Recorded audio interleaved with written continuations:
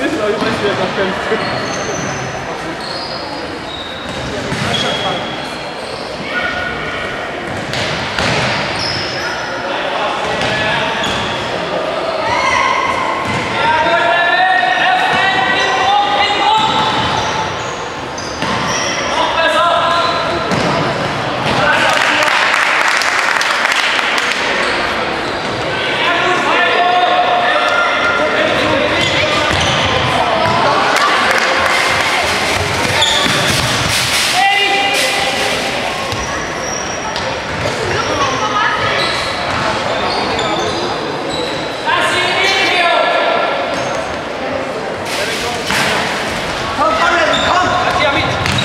Fabian, klasse.